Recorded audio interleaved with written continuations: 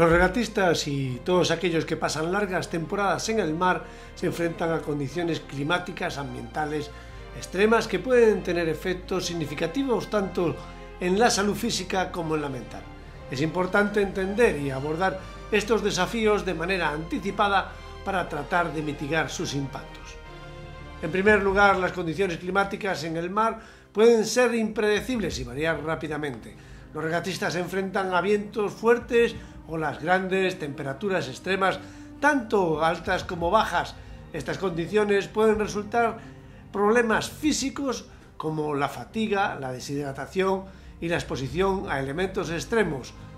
Es fundamental que los regatistas estén preparados para enfrentar estas condiciones adversas y cuenten con el equipo adecuado para protegerse de los elementos como ropa impermeable, gafas de sol, protección solar y sistemas de hidratación.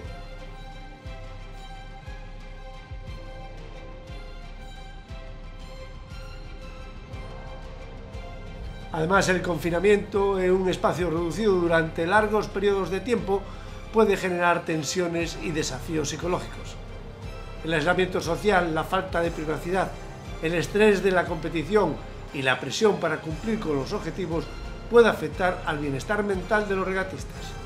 El aburrimiento, la ansiedad y la depresión son problemas comunes en estas situaciones. Por lo tanto, es importante brindar apoyo emocional y psicológico a los regatistas tanto antes como durante la competición. Esto puede incluir técnicas de manejo del estrés, terapia de grupo, comunicación regular con las familias y amigos y promover un ambiente de equipo positivo y solidario.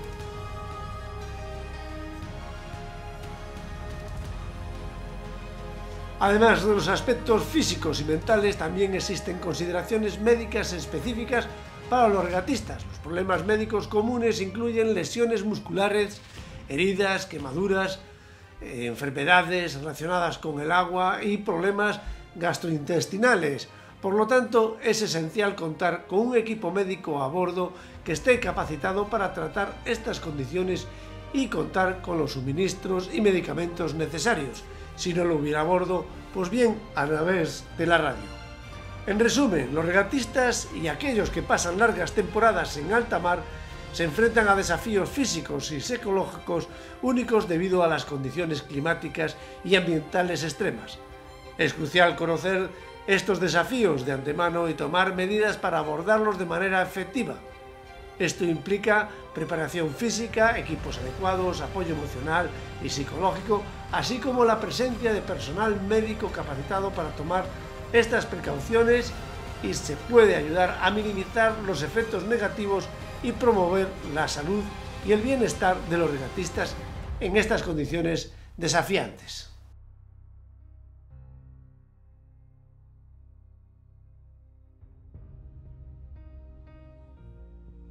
Uno de los problemas a los que con frecuencia se ven expuestos quienes pasan tiempo en alta mar es el de la deshidratación, ya que no solo se vincula al calor o a la climatología, en ocasiones por las propias condiciones de vida a bordo de los barcos o por sus hábitos adquiridos, la deshidratación es una constante independiente de si hace frío, calor, llueva o sople viento fuerte o no.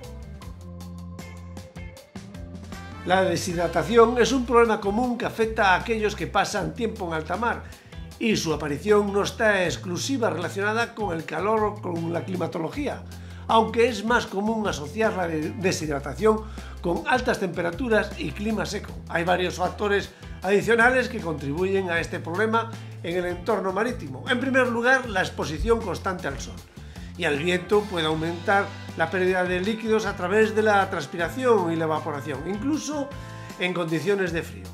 El viento puede provocar una rápida evaporación del sudor, lo que puede llevar a una deshidratación inadvertida. Además, el agua salada y la brisa marina también puede contribuir a la deshidratación, ya que el agua salada tiene un efecto diurético en el cuerpo y la brisa marina puede aumentar la pérdida de humedad en la piel.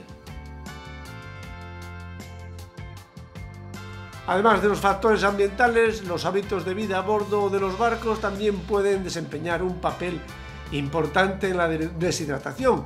Por ejemplo, el consumo excesivo de bebidas con cafeína o alcohol pueden actuar como diuréticos, lo que lleva a una mayor pérdida de líquidos. Además, la falta de acceso constante a agua potable fresca y la falta de conciencia sobre la importancia de mantenerse hidratado puede contribuir a una hidratación insuficiente.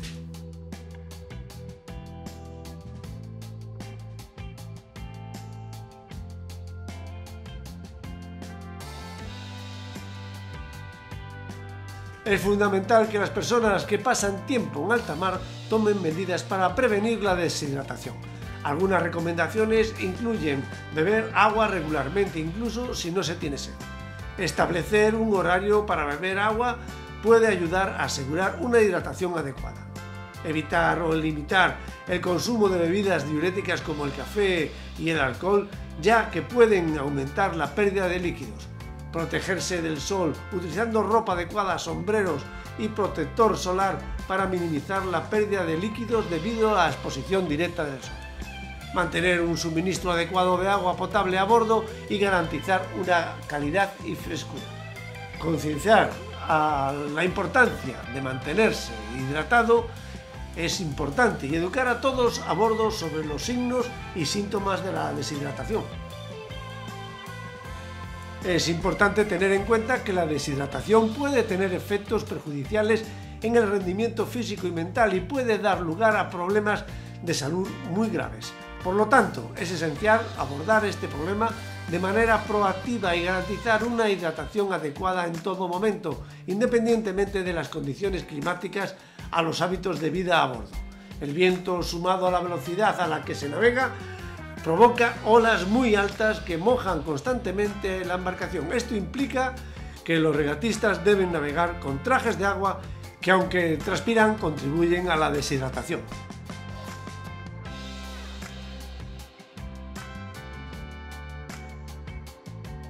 Otro factor crucial a tener en cuenta es el tipo de agua que se consume a bordo de los barcos de alta mar.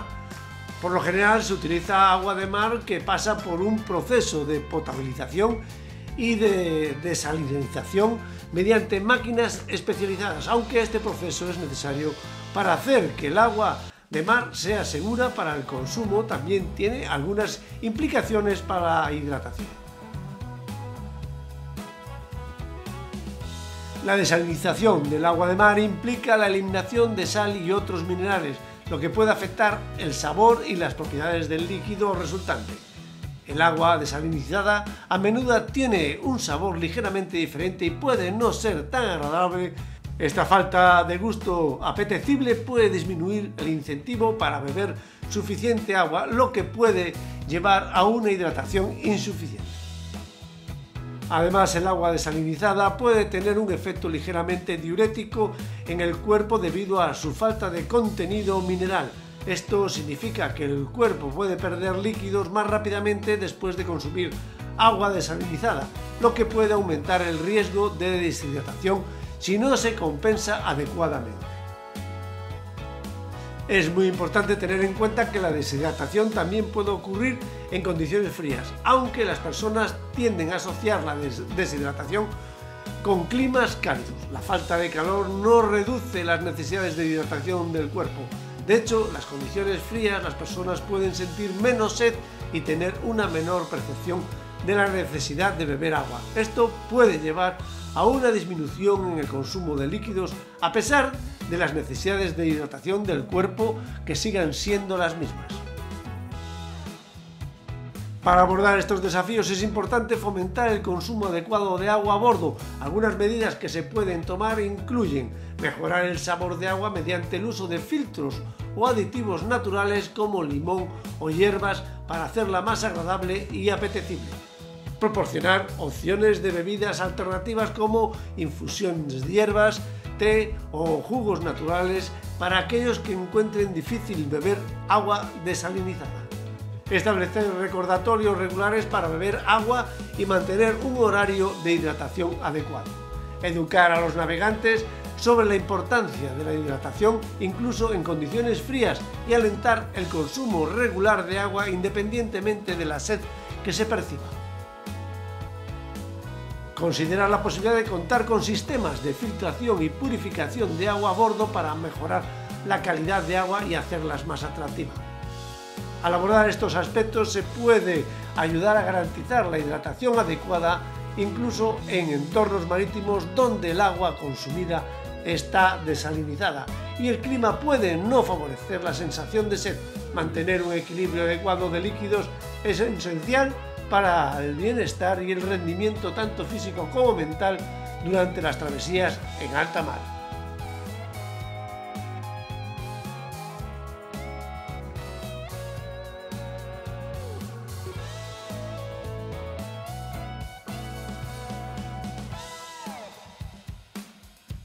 Otro factor importante es la radiación solar. Es otro desafío que debe tenerse en cuenta al navegar en alta mar. La exposición prolongada al sol puede tener efectos perjudiciales en la piel y en los ojos, por lo que es crucial tomar medidas para protegerse adecuadamente. Las gafas de sol son un elemento esencial para proteger los ojos de los rayos UVA y UVB, que pueden causar daño ocular a largo plazo como cataratas, degeneración macular. Al elegir gafas de sol es importante buscar aquellas que ofrezcan una protección UVA completa y que se ajusten correctamente para evitar que los rayos solares ingresen por los costados. Las lentes polarizadas también pueden ser beneficiosas para reducir el deslumbramiento y mejorar la visión en condiciones de luz intensa. Además, las gafas de sol, el uso de gorras o sombreros de ala ancha es fundamental para proteger el rostro, el cuero cabelludo y las orejas de la radiación solar directa. La gorra o sombrero proporcionado una sombra adicional y reduce la exposición de la piel a los rayos solares, especialmente en las áreas más sensibles como la frente y las mejillas. La aplicación regular de protector solar es otra medida esencial para combatir los efectos nocivos del sol en la piel. Es recomendable utilizar una crema solar de amplio espectro con un factor de protección solar adecuado para su tipo de piel y condiciones de exposición. Se debe aplicar generosamente y de manera uniforme en todas las áreas expuestas de la piel, incluyendo el cuello, los brazos y las piernas. Además es importante volver a aplicar el protector solar cada dos horas y después de nadar o sudar. Es importante tener en cuenta que el mar actúa como un espejo, reflejando los rayos solares desde diferentes ángulos. Esto puede aumentar significativamente la exposición de la piel o a la radiación solar incluso en días nublados o frescos. Por lo tanto, es esencial tomar precauciones adicionales y no subestimar la necesidad de protección solar adecuada durante las actividades de alta mar. Además de las medidas de protección mencionadas anteriormente, también se recomienda buscar sombras cuando sea posible, especialmente durante las horas de pico de radiación solar. Usar ropa de protección como camisetas de manga larga, pantalones ligeros, también pueden ser útiles para proteger la piel del sol. En resumen, la radiación solar es un enemigo significativo al navegar en alta mar. La protección adecuada mediante el uso de gafas de sol, gorras, la aplicación de protector solar es esencial para prevenir el daño ocular y proteger la piel de los efectos nocivos del sol. Tomar medidas proactivas para protegerse del sol no solo ayuda a evitar quemaduras solares y daño a largo plazo, sino también contribuye a mantener la salud y el bienestar durante las travesías marítimas.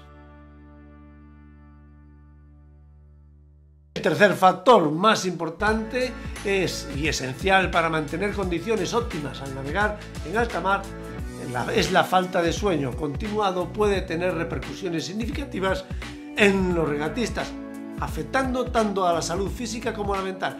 Por esto, eso que se presta una gran atención al descanso y se buscan estrategias para optimizarlo. Una técnica que utiliza para maximizar el descanso en periodos de tiempo más cortos es el sueño polifásico. Este, ya hicimos un vídeo en su momento que podéis ver en documentales en vivos. En lugar de tener un sueño largo e ininterrumpido durante la noche, el sueño polifásico se basa en dividir las horas de descanso en varias fases a lo largo del día. Esto permite reducir la cantidad total de horas de sueño necesarias, mientras se obtiene un descanso similar. El sueño polifásico requiere un enfoque cuidadoso y la supervisión de profesionales. Las diferentes fases del sueño se planifican estratégicamente para aprovechar los momentos de mayor eficiencia del sueño. Por ejemplo, se pueden realizar siestas cortas de 20 a 30 minutos en momentos específicos del día, como después de las comidas o durante las pausas planificadas. Estas siestas cortas se complementan con periodos de sueño más largos durante la noche. Esta estrategia tiene como objetivo aprovechar las fases de sueño REM, que es la fase del sueño asociada con un descanso profundo y reparador. Al planificarlos cuidadosamente, el sueño polifásico se busca maximizar la cantidad de tiempo que se pasa en las fases del sueño REM, lo que permite obtener un descanso efectivo y rejuvenecedor en un periodo de tiempo más reducido. Es muy importante destacar que el sueño polifásico no es una técnica adecuada para todos y puede requerir un periodo de adaptación. Además se requiere una planificación cuidadosa y una supervisión de profesionales de salud para asegurar que se satisfagan las necesidades individuales de descanso y que se mantenga un equilibrio adecuado entre sueño y vigilia. En resumen, el descanso adecuado es un pilar fundamental para aquellos que surcan el mar durante largos periodos de tiempo. La falta de sueño continuado puede tener efectos negativos en la salud física y mental de los regatistas. Para optimizar el descanso se pueden emplear técnicas como el sueño polifásico, que consiste en dividir las horas de sueño en diferentes fases a lo largo del día. Sin embargo, es importante buscar la supervisión y el asesoramiento de profesionales para garantizar que se adapte a las necesidades individuales y se mantenga un equilibrio adecuado entre el sueño y la vigilia.